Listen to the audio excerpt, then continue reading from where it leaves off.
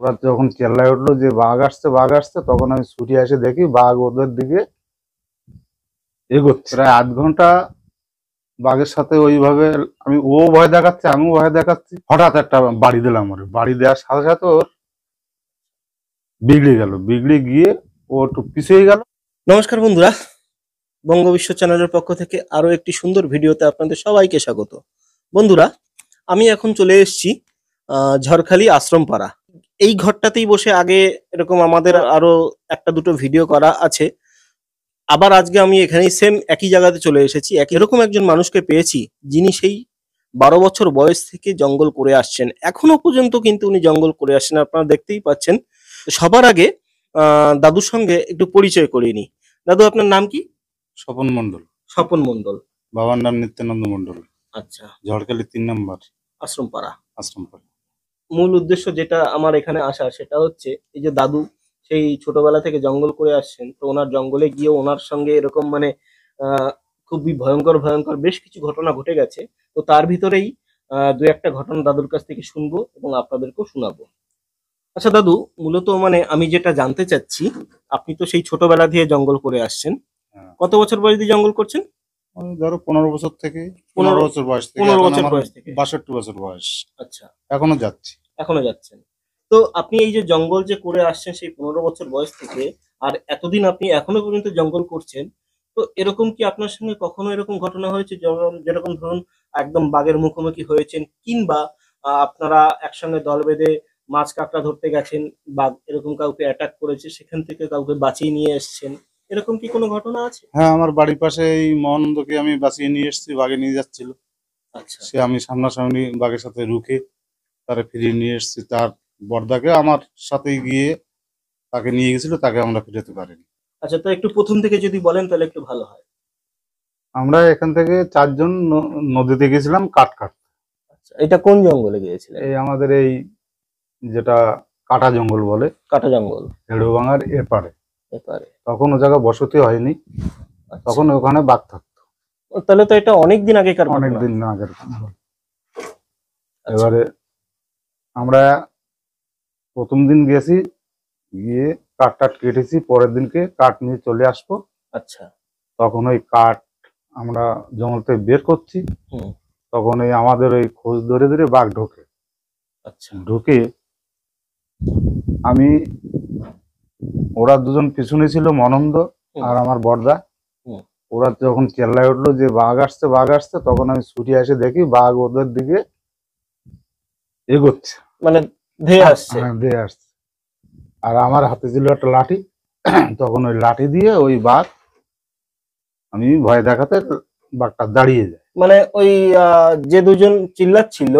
তাদের এবং বাঘের মাঝখানে আপনি চলে এসেছেন। হ্যাঁ আমি ওদের মাঝখানে ওদের সামনেই চলে গেছি। সামনেই একদম ওরা দুজন পিছনে আছে আচ্ছা। বাঘ আর আমি সাম- সামনাসামনি সামনাসামনি তা প্রায় আধ ঘণ্টা বাঘের সাথে ওইভাবে আমি ও ভয় দেখাচ্ছে আমিও ভয় দেখাচ্ছি। আচ্ছা। কিন্তু যখন দেখলাম যে ও আর সরে টরে না। এ তো একজন নেবেই তখন আমি ওই হঠাৎ একটা বাড়ি দিলাম ওর। বাড়ি দেওয়ার সাথে সাথে ওর বিগড়ে গেল। বিগড়ে গিয়ে ও একটু পিছিয়ে গেল তখন আমি ওদের নিয়ে নদীর চরে বেড়ে বাড়ি চলে আসলাম। আচ্ছা মানে ওই যখন ধরুন মানে ওই আধা ঘণ্টা ধরে আপনি এবং বাঘ দুজনে একদম মুখোমুখি ছিলেন তা সেই সময় কি আপনার কোনো মানে ভয় লাগেনি? আমারও বাঘটাক দেখলে ভয় করে না। আমি বহুবার বাঘের সামনে পড়েছি। আচ্ছা। ও বাঘটাক আমার কাছে কিছু মনে হয় না। আমি ছোটবেলা থেকে জঙ্গল করি। আচ্ছা যাই হোক তা ওই বাঘটাকে যখন আপনি শেষ ফিনিশিংয়ে যখন মাল মারলেন ওই আপনার হাতে যে লাঠিটা ছিল তা বাঘটা কোথায় লেগেছিল? ওর মাথায় মাথায় কি নাকে এরকম কোথায় লাগেছে মোটামুটি মানে নাক মাথা হ্যাঁ। এরকম সোজাসুজি লেগেছিল। যে কোনো জায়গায় ওর জোর লাগেছে ওই জন্য পিছিয়ে গেছে। আচ্ছা। তো তখন ওই মানে বাড়ি লাগার পরে ও পিছনে সরে গেছে। হ্যাঁ। তারপরে আপনি কি করলেন?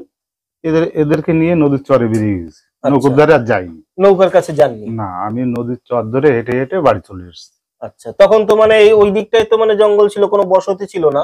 আর এপারটা তো পুরোটাই মানে ডাঙা ছিল। আচ্ছা। আমি ওই নদীর সাইড ধরে ধরে আমরা বাগমারি কোনায় উঠে হুম।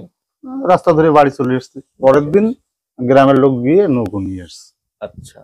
নৌকো যখন নিয়ে এসছে তখন ওই বাঘ নৌকো ফলো করে করে আবার আমাদের গ্রামের ঘাটে যেখানে নৌকো থাকে আচ্ছা।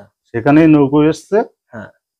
আর ওই বাঘ ওই রাত্রে ওই নৌকো আমাদের সেই নৌকোটা নিয়ে ঘুরেছে সারা রাত ধরে কিন্তু অন্য নৌকোর ধারেও কোনো সময় যায় যায়নি। মানে যে নৌকাটা মানে আপনাদের যে নৌকাটা ছিল সেই নৌকাটা সেইটাই ঘুরেছে। ঘুরেছে। তো এটা আপনারা মানে বুঝলেন কীভাবে? সকালে ওই বাঘের ছাপ দেখেছে পায়ের থাবা দেখেছেন। পায়ের তো যাই হোক বন্ধুরা, আপনারা শুনতেই পেলেন দাদুর মুখের কথা। তো ওনার নিজের সঙ্গে এরকম একটা ঘটনা ঘটেছিল, তো ওনার সঙ্গী সাথীদেরকে বাঁচানোর জন্য, সঙ্গী সাথী এবং বাঘের মাঝখানে উনি এসে হাজির হয়েছিলেন এবং সঙ্গে একটা লাঠি ছিল। তো সেটার জন্যই দাদু কিন্তু তার সঙ্গী সাথী কিংবা নিজেকে সেই বাঘের মুখ থেকে রক্ষা করে নিয়ে আসতে পেরেছে। তো যাই হোক বাঘের সঙ্গে বেশ খানিকক্ষণ মুখোমুখি হওয়াতে বাঘও পিছনে সরছে না এবং দাদুও পিছনে সরছে না। তার কারণ এনাদের ভয় রয়েছে। এনারা যখনই বাঘের দিক থেকে চোখ ফিরে যখনই পিছনে সরবে, তখনই এনাদের উপর অ্যাটাকটা হবে। তার জন্য ভয় লাগা সত্ত্বেও উনি কিন্তু বাঘের থেকে মানে চোখ ফিরাচ্ছেন না। তো শেষমেশ আধা ঘণ্টা পনেরো এক ঘণ্টা হওয়ার পরেও যখন দেখছে যে বাঘ যাচ্ছে না, তখন কিন্তু সে একটা মরণ চেষ্টা করে গেছে। আর সেই চেষ্টার মাধ্যমেই বাঘকে এমন ভাবে একটা বাড়ি মেরেছে বাঘের মাথা এবং নাকের উপরে। তো খুব ভয়ঙ্কর ভাবেই বাঘের হয়তো আঘাত লেগেছিল, যার জন্য কিন্তু বাঘ সেই সময় থেকে বাঘ পিছনে সরে যায়। আর সেই সময় কিন্তু ওনার সঙ্গী সাথীকে নিয়ে এবং উনি কিন্তু নৌকা ওখানে রেখে দিয়েই উনি আবার বাড়িতে চলে আসে। তো যাই হোক বন্ধুরা, ভিডিওটা বেশি বড় করব না, ভিডিওটা এখানেই শেষ করছি।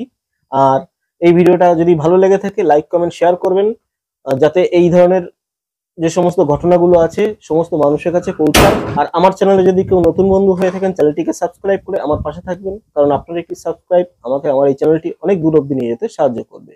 তো বন্ধুরা ভিডিওটা এখানে শেষ করছি। ধন্যবাদ।